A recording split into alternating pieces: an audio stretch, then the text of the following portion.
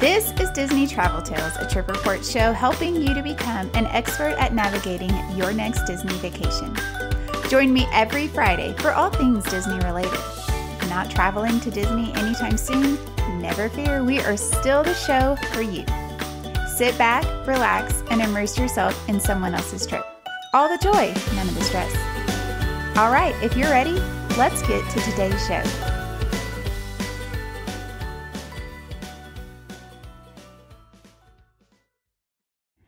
Hello and welcome. I am Jenny, your host, and today you are listening to episode 120, and I am answering all of your questions. I have been gathering questions for the past few weeks because I kept putting this episode off because of just different things going on, and I am excited to answer them. So let's just jump in. But real quick, a couple of weeks ago, I had posted an episode about mine and Usher's pre trip report. We leave tomorrow for our trip. Make sure you are following along on Instagram. I am going to take you with us on our trip.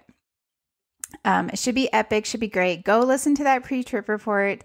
I've already changed some of the things that we're doing, which is just so typical for me, but I am excited for when we get back to record our trip report episode to see how things lined up. I'm also going to be hands on using the new Lightning Lane multi-pass and single pass system. So head over to Instagram, Disney Travel Tales, and follow along for all of our fun. Okay, so let's just dive straight into these questions. I had tons of questions, of course, about the new Lightning Lane system. Uh, the episode last week, episode 119, talks all about what we know about the Lightning Lane so far. But some people, some of the questions were, How do you feel about the Switch? I don't know how I feel about the Switch until I actually use it. I have already pre booked some of my lines. Um, I so we have you know three rides for each day that are on the multi pass. We also have single pass rides for each day. I loved Genie Plus. Personally, I knew how to use Genie Plus. It was very easy for me to use. I could stack our rides so that we never stood in a standby line. It was very, very rare that we stood in a standby line, and typically it was just because we had some time to waste and we didn't care. It was never like we really want to ride this ride. We ha- the only way we can ride it is by standing in the standby line. Because I knew Genie Plus and I knew how to work it, that was never the case. So, I don't know how I feel about this new system. Just from things that I've seen online so far, some of the availability later in the day is really like not existent. Um, I think because it's kind of a little bit like FastPass, and um, especially if you are using a travel agent, this is where it's going to become, you know, come so handy. You're going to be really prepared for your trip. You're going to know about the system. You're going to know which rides. You're going to be able to, you know, book three rides ahead of time Whereas in the past, if you were not familiar with the system, you know, if you weren't using a travel agent, you would just show up at Disney and you might not even know what Genie Plus was. So, more people are going to know about it, more people are going to be using it and booking it. Whereas I personally feel like with Genie Plus, a lot of people were not using it and were not booking it. And so the people who were more experienced kind of had an advantage.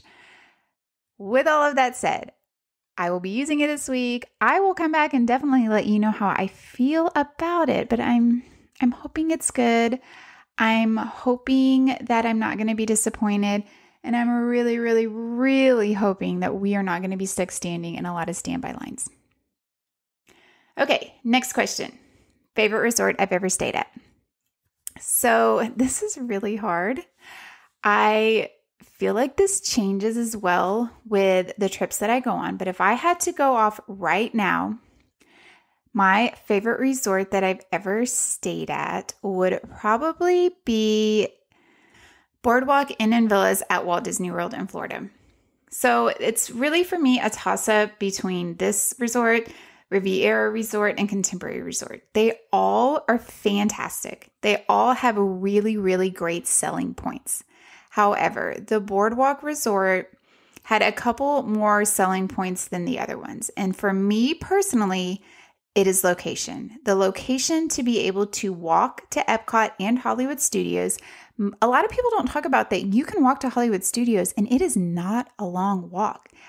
Can't, um, when Aiden and I went, we actually timed it with a boat and we beat the boat. And we're we weren't like speed walking. We were just walking at a regular speed. I love when I don't have to rely on transportation to get somewhere. I love when I can be in full control of getting to the destination. And so the walkability to that of that resort to these parks is so important to me. On our first day there, we checked in very early. We landed at like 9 a.m. We dropped our bags off. We walked to Epcot. Then we came back in the middle of the day, went swimming, changed clothes, rested a little bit, and walked to Hollywood Studios to end our day. It's just so easy to get around. My second selling point on this resort is the pool and the slide. The slide is fantastic. It is so much fun. We loved it. I probably rode it like six times, which is, I mean, I'm an adult woman and I went down the slide six times because it was that much fun. It's just a fantastic resort. Um, Riviera is amazing. If you could walk to a park from Riviera, it would probably be my favorite resort because it had the best food. It also had a great slide. The only difference was it was January, so I didn't get to enjoy it as much. And the rooms are just gorgeous. This resort is gorgeous. Contemporary loved the rooms so big. Like if you a family of five could comfortably, comfortable, comfortably, it's really hard to say, stay in this room and have plenty of space. And just being able to walk to Magic Kingdom is so great. But there were things I did not like that were really like hard, I did not like. So, Boardwalk is probably my favorite. If I had to choose between the three and they were like, you get to stay here, that's the one I would choose. The biggest downside for me at Boardwalk was the food choices. They don't have a lot of food choices, but again, you're so close to the parks, you're so close to Yacht and Beach Club, you can find food. Next question favorite quick service dining. Um, I this is this is really tough. So I'm going to just say first thing that comes to mind off the bat is Columbia Harbor House. I know this is not a big pick for a lot of people, but we loved this restaurant. We loved the fact that we could get a healthy meal quickly at Disney. It was really, really good. This uh, Columbia Harbor House is located in Magic Kingdom. It's over by a haunted mansion in the Liberty Square area. When Aiden and I went, we got a room upstairs, a table right at a window overlooking Haunted Mansion, and I just loved it. This food was really, really good. I'm going to just break it down now because I also had another question that was which is your favorite quick service at each park? So Magic Kingdom, it's Columbia Harbor House. Um, Epcot is a little bit harder for me because we don't typically eat quick service at Epcot. We just eat at the booths. We actually plan to be eating at more quick service this trip, we're only eating at quick service. So I am going to try a couple of new places in Epcot. But as of right now, I would say my favorite quick service place is La Cantina de San Angel. It's at the Mexico Pavilion. It has a nice place that you can eat, uh, like a patio that's on the water. So we really enjoyed the food. We're Texans, so give us some Tex Mex, and we are happy for the most part. Animal Kingdom, Forever and Always, Satu'li Canteen. That actually might be my favorite quick service across all the parks, but I really love Columbia Harbor House. Those are might be a close tie, but Satu'li Canteen is fantastic. It's so delicious. It feels like table service at a quick service price and like time. It's so good. At Hollywood Studios, this one is definitely tougher because I don't necessarily love the food at Hollywood Studios. We, again, trying new stuff this trip around, but for right now, I'm going to say it's Woody's Lunchbox. I did enjoy the tots and the Pop Tarts are really good as well, so that's going to be my go for now. My next question was about Aulani and my overall thoughts on Aulani and would I go back to Aulani? We went to Aulani in August of 2022, I'm pretty sure. Yes. We were traveling to Hawaii for our 20th wedding anniversary, and I thought this is the perfect opportunity for us to stay at Aulani. So, my thoughts on Aulani were, were it was really nice. Like, it is a gorgeous, gorgeous resort. Um, the room's are really beautiful. The staff is really great. The pool is so much fun. The lagoon is really nice as well because of I think the time that we went, not everything had fully reopened. And so we did have an issue with the dining. The food options at the resort were not great for us. Um, I mean, everything's open now, so it's a lot different. But that was kind of the biggest problem we ran into. Would I go back? I don't know if I would go back because typically this was a, you know, a pretty big trip. Going to Hawaii is a really big vacation. I don't know if I would go back to Oahu in general. I think if I go back to Hawaii, I would want to visit a different island. Um, and I just personally, for me and my family, Aulani was kind of a one time situation. I like to see new things. Um, while we did enjoy it, it is a little bit on the pricey side, and there is just a lot more to Hawaii than this resort. But it is absolutely gorgeous if you are wanting to travel to Hawaii and kind of have a nice location outside of the city without all the hustle and bustle around you. Um, if you're really just wanting to only beach and swim and resort, I think this would be a great place for you to visit. We're a little bit more adventurous, so two days at Aulani for us was perfect. But yeah, for us personally, I don't know if we'll ever go back. I mean, I always say never say never. But I do think for certain families, this could be a great place for them to kind of visit all the time. Um, let's see. Another question I had um, multiple times was What is my favorite ride at each Walt Disney World park? So at Magic Kingdom, right now, my favorite ride is probably Haunted Mansion. Um, I also love Tron. So those are probably my top two. Oh, and People Mover.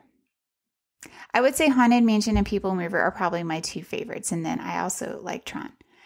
At Epcot, my favorite ride is Cosmic Rewind 100%. That is probably my favorite ride across. No, that's not. That's another question. So we'll talk about that later.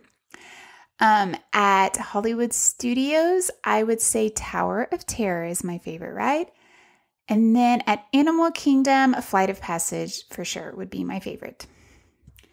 Now, my favorite rides at Disneyland Park was another question. Um, this one's a little bit harder just because I haven't been there as much. I would say my favorite ride at Disneyland Park would be the Indiana Jones ride. I did not get to ride it on my last trip, which I was really, really bummed out about, but it is, I have a lot of like fantastic memories about that ride. So I'm just going to say that's my favorite ride. And then at California Adventure, let's see. I would probably say my favorite ride is the Incredicoaster, just because I love coasters and Disney World doesn't have your traditional coaster. And so that is one thing I do love about California Adventure and just Disneyland in general, that they have some different things.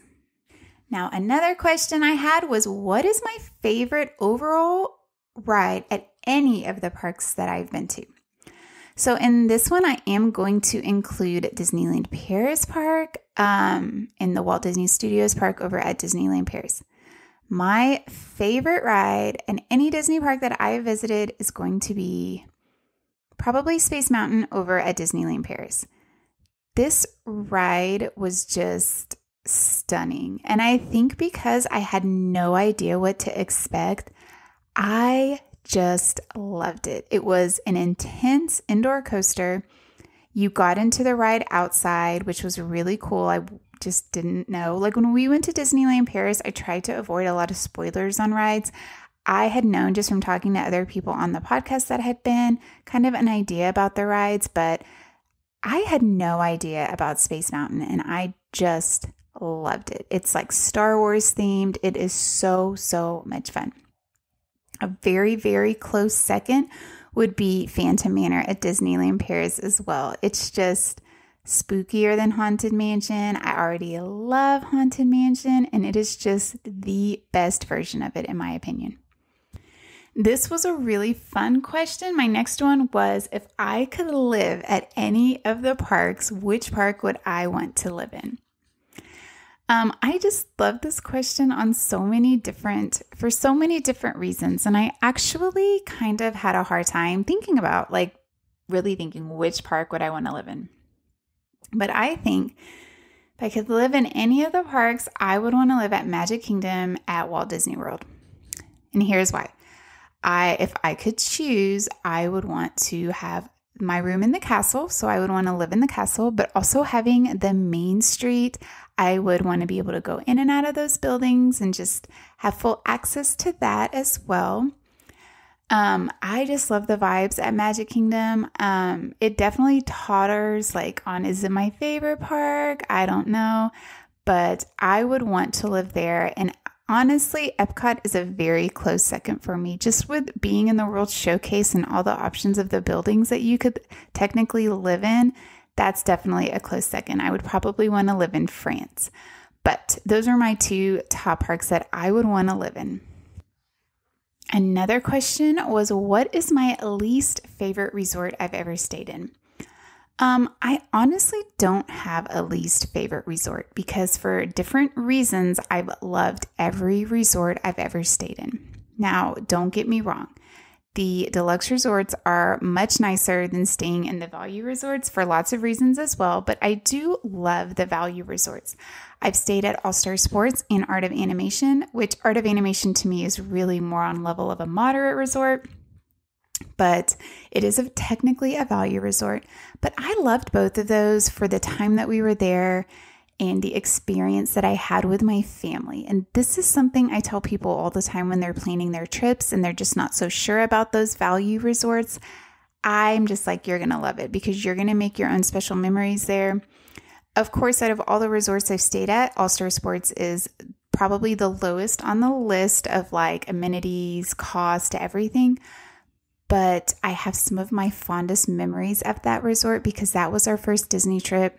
I can remember coming back from the parks and the boys playing football on the football field because we stayed right outside the football field with all these other kids. And so while the amenities and everything might not have been there, that resort just has such a special place in my heart and I love it.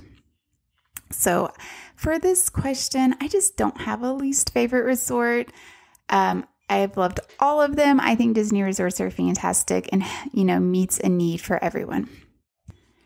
Next question is if I could add anything to any of the parks, what would it be and why? I feel like a broken record saying this because if you are, you know, in the Disney universe online, then you hear people talk about this all the time. But I would add a Tangled theme restaurant to Fantasyland and Magic Kingdom. I would take out the bath, the tangled bathrooms right there where the tower is, and I would turn that into a restaurant, a character meal.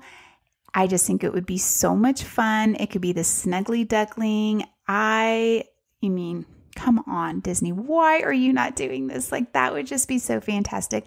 I don't even need a ride. Give me a restaurant with a really fun theme, and I'm good with that.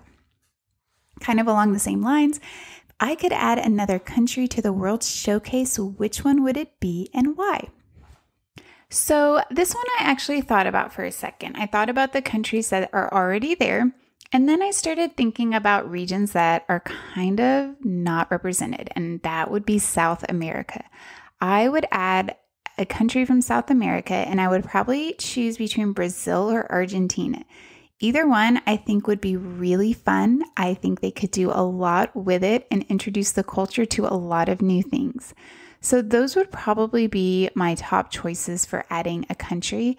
And then, if you really wanted to go just off the rails, what if they added, like, which I know this is a continent, but what if they added Antarctica? Like, that would be so crazy and just serve like ice cream. You could have like almost a penguin ride or I don't know, like a deep sea expedition type ride. I think that would be really fun and just totally, completely different.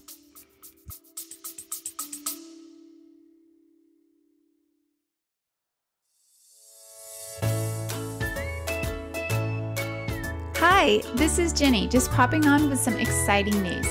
I've started a Facebook group just for you. I'm really excited about this because not only will this be a great opportunity to get to know each other, but this is also a safe space to talk all things Disney. Members can share travel tips, resort tips, likes and dislikes, and the best part is, this will give you an opportunity to talk to the guest on the show and ask them questions about their trips. I was trying to think of a fun name for us, and Disney Travel Tales Podcast Clubhouse came to mind. This is a private group, and of course, I will not allow anyone to be bullied or talked down to. I just want this space to be positive and fun. Check the show notes for a link to join or just search Disney Travel Tales Podcast Clubhouse in Facebook. I can't wait to see you over there.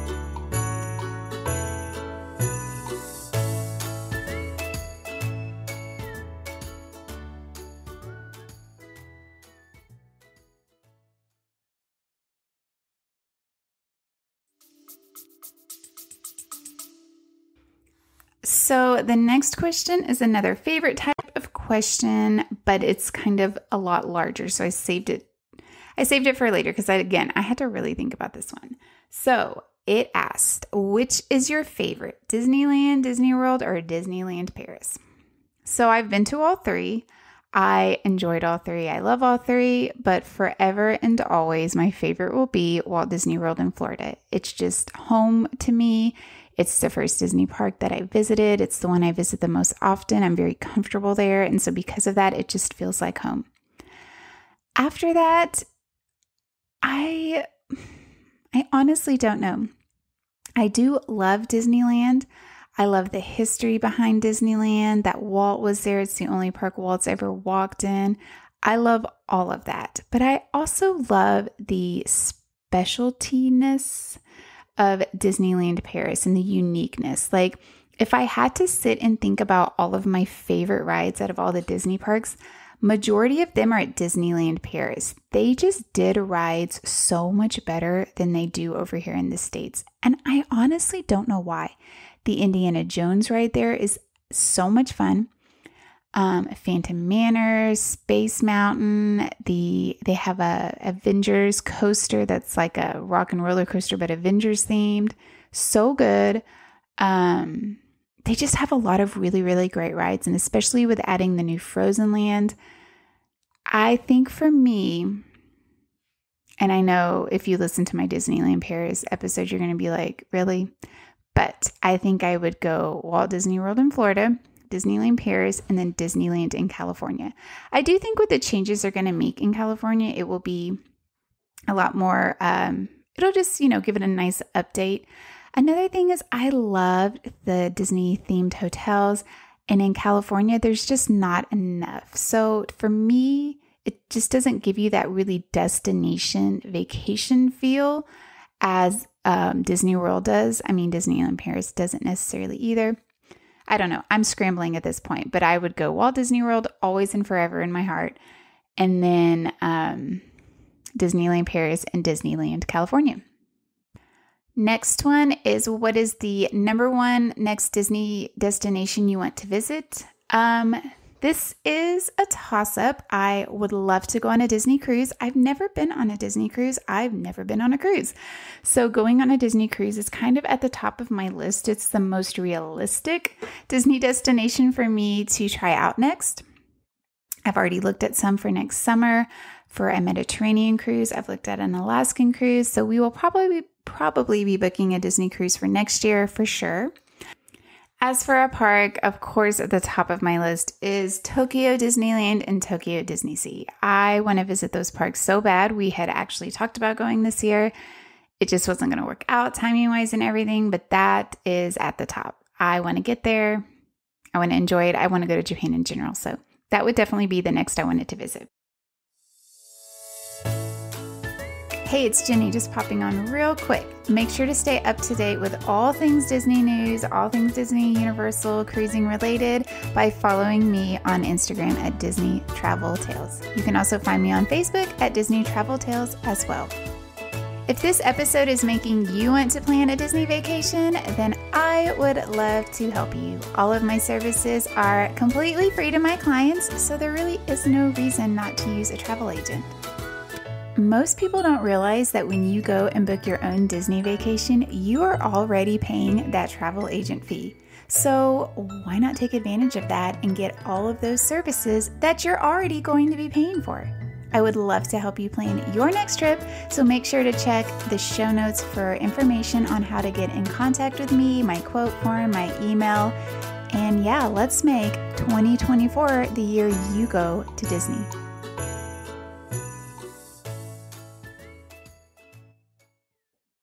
Okay, next question is if Disney was to open a whole new park, where would you want it to be? Of course, I would want it to be in Texas. it's where I live. There's been rumors for so many years about Disney opening a park here. I live about 30 minutes from where Disney owns a bunch of land already. I'm starting at this point to think it's going to be one of these neighborhoods that they're trying to build, but I would love a Disney park here in Texas. Like, dream come true, 100%. I think the heat could be a problem. It is hot in Florida, but it is a lot hotter here in Texas. Um, and it's just a different type of heat. But it would for sure be my number one choice for a Disney park. Another question would be if I could retheme any ride at Walt Disney World in Florida, which would it be and why? I would 100% retheme Rock and Roller Coaster. While I love Aerosmith, and Aerosmith was very popular in my generation, there's a lot of kids and young adults who are not that familiar with Aerosmith, and that ride is just so outdated because of that. Being at Disneyland Paris and seeing how they reimagined Rock and Roller Coaster to Avengers was just really, really cool. That ride is a great it's like a mix between Cosmic Rewind and Rock and Roller Coaster. They could do so much with this ride. I've heard people talk about retheming it to the Muppets, which I'm also, I could totally get behind. Um, you know, the Muppets aren't as popular anymore, but I still think they're very familiar. But I that ride needs a retheme. So I would either go with the Muppets. I don't think they can do an Avengers retheme just because of um, some of the superhero stuff in Universal. So that might not work. But you know, okay, so it's over there by Lightning McQueen Racing Academy. What if they rethemed it to a Cars theme? That would be really fun. And you might actually be able to get younger kids to not be so scared to go on it. But if it's like you're racing Lightning McQueen, you're Okay, so that's what I think. I'm going to go with that. I think Rock and Roller Coaster should be rethemed to a Cars Lightning McQueen racing type of ride.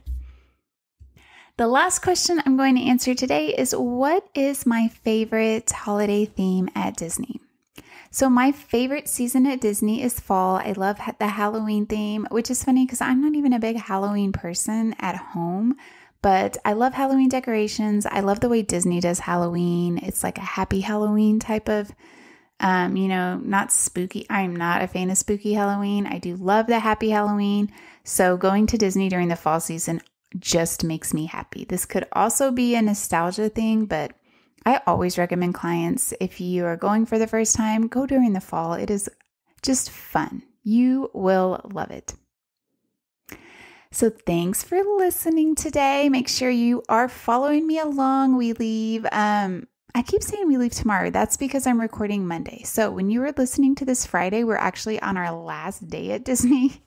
So go back and if go to Instagram, you know, check. I'm going to do a highlight reel, follow along, go back and see, ask me any questions and yeah, it'll be a great trip. I'm excited.